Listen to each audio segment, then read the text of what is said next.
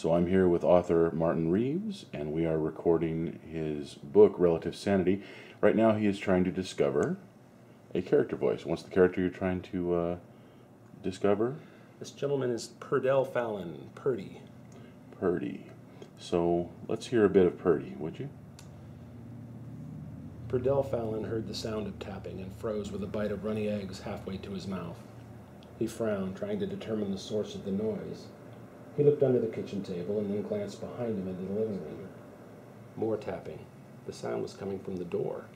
Of course it's coming from the door, Purdy. Where else would someone be knocking? On the roof? He smiled at himself, raised his soft bulk out of the chair. He had a permanent stoop to his walk because the ceilings were only six and a half feet high, and he didn't hunch. He was forever smacking his head. Your head's soft enough as it is, Mom used to say. I'm Arthur Martin Reeves, and uh, we are taking a much needed break from recording the audio version of Relative Sanity. Uh, a little more taxing than I thought, but uh, having a good time with it.